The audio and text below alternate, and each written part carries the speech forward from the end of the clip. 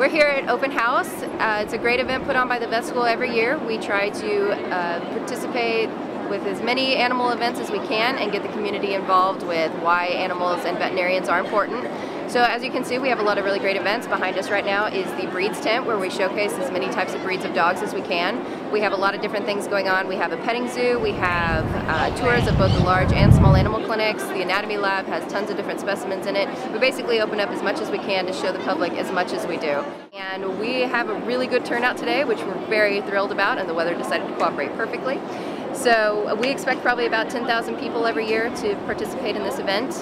Uh, this event is run entirely by students and completely funded by donations and sponsorships, so we definitely appreciate all of our supporters, and we have a lot of students out here helping out today, which we couldn't be more thankful for. Basically what we're here to do today is kind of let the public know that we're here and uh, inform children and adults about search and rescue and you know what our dogs are capable of doing for them. Um, today we're going to do demonstrations in agility, obedience, and uh, human, or excuse me, human remains recovery and uh, air scenting and trailing. Uh, we've all been associated with the vet school in one way or another, and we've been doing this for probably about five years. We do demos every year. Um, this is one of our favorite events because we absolutely get to come out and uh, show the public, you know, what we can do and how we can help them, and we also inform children about what to do if they get lost.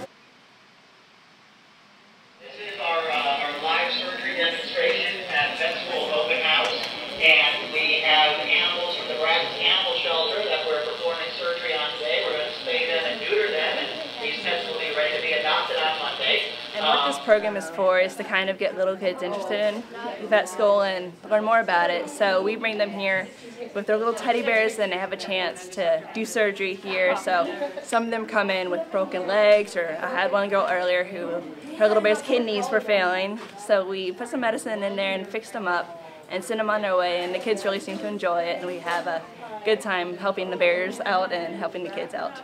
We had to put a big band-aid, had to wrap it around and put this glue stuff on it to protect, to keep it from water.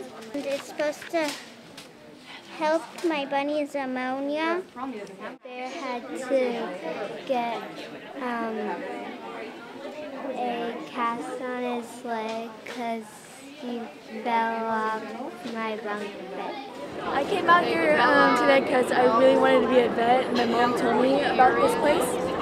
So I told her that I really would like to come. My favorite part has been um, seeing the dogs here. They're so cute!